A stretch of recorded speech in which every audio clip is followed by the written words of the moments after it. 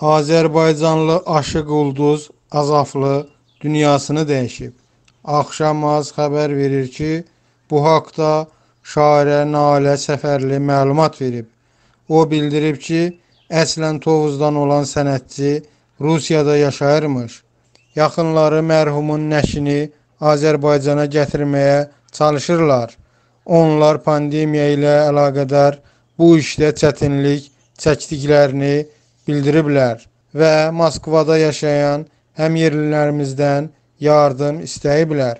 Qeyd edək ki, Ulduz Ustad Aşıq Azaflı Mikailin 8-ci övladıdır.